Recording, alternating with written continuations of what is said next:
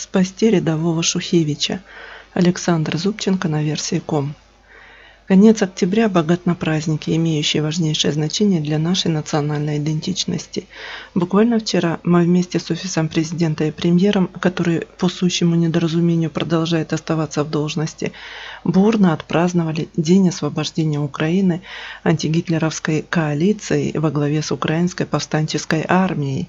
Все вы, конечно, помните подробности героической операции по высадке союзников под Житомиром – еще был снят чудесный фильм по этому поводу, называется «Спасти рядового Шухевича».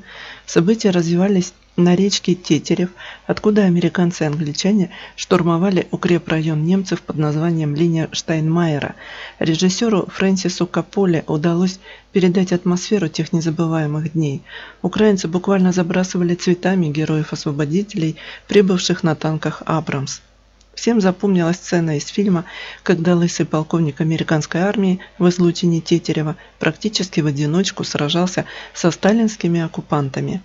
Хорошая новость. Ожидается выход новой, более политкорректной версии тех славных боев. На этот раз Шухевича будет играть темнокожий актер-трансгендер, а личный состав УПА будет состоять преимущественно из представителей ЛГБТ-прайда.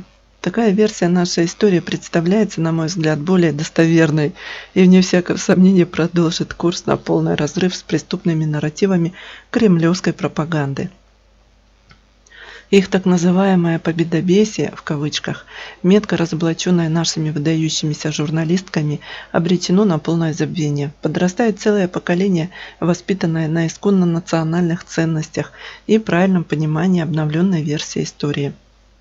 Скоро в обновленной версии Facebook под названием Meta не останется ни одного пользователя, который будет понимать всю подоплеку тех славных событий, свидетельствующих о нерушимом ментальном братстве английского и украинского народов.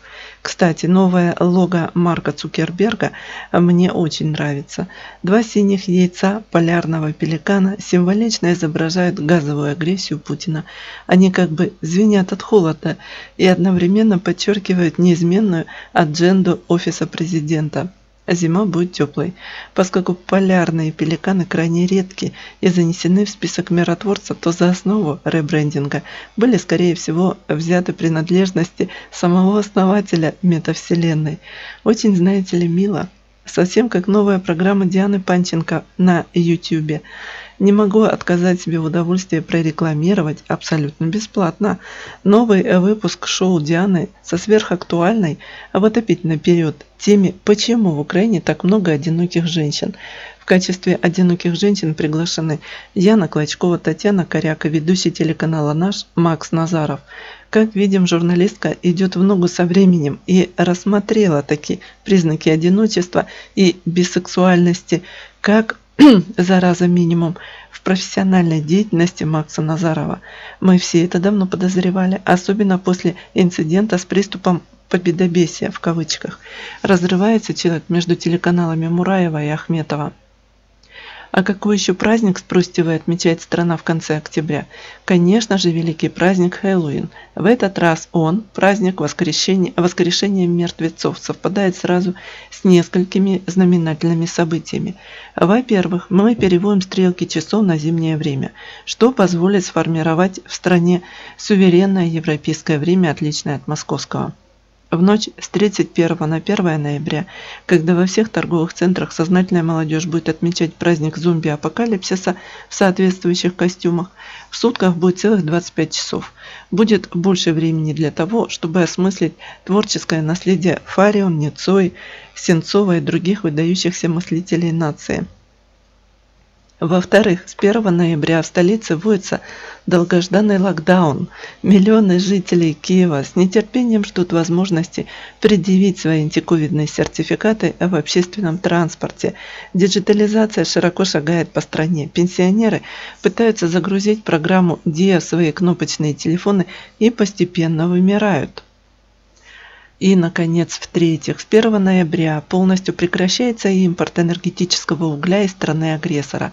Мы давно к этому готовы, поскольку мудрые руководители закупили миллионы тонн высококачественного, абсолютно дешевого угля прямо в Пенсильвании. Первая баржа уже прибыла в порт Одессы. В Штатах ее провожал весь состав украинского посольства в Вашингтоне во главе с Маркаровой, а также какой-то левый батюшка с нереально большим кадилом. Все боялись, что он спалит баржу ну, в общем, совсем. Но все закончилось очень хорошо. Одной американской баржи нам хватит надолго, практически до конца отопительного сезона. И, наконец, еще одна новость. Бывший спикер Дмитрий Разумков с 1 ноября официально приступит к формированию собственной политической партии. Уже точно известно, что в политсовет этой силы войдет доктор Кашпировский. Некоторые СМИ ошибочно сообщили о докторе Комаровском, но нет, это фейк. Комаровский, как и Гордон, пока не определился со своей ориентацией. Зато Кашпировский сразу дал свое согласие. Лечение энуреза по Фейсбуку во время отопительного сезона по-прежнему является очень востребованной политической услугой. С праздниками вас, воины-освободители УПА, в кавычках. Александр Зубченко. Спасти рядового Шухевича. Тоже в кавычках.